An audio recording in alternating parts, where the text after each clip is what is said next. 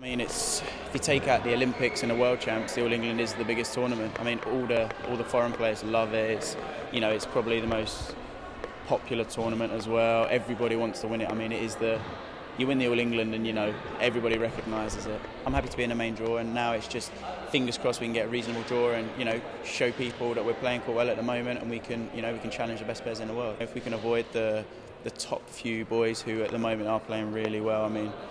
Uh, you got your Lee Yong-dae, Phil and Kai are playing. It'd be nice to avoid them, but you know anyone else, I'd like to like to you know give them a good game. We're at the top of qualifying. We didn't quite sneak in, but we've only got eight tournaments on, so that's why. If we'd had ten, we would have been in the main draw. Um, so yeah, just hopefully in qualifying the draw's not too bad and we can progress and then get in the main draw and challenge some of the, the top pairs. Unfortunately, I think the first I've got is last 16. I don't think I've actually made a quarter yet.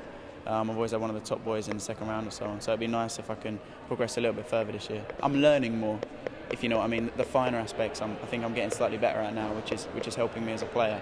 Um, best form, I think it's hard to say. If I play to my very best on the day, then you know I truly believe I can challenge some of the best players in the world and best pairs in the world. So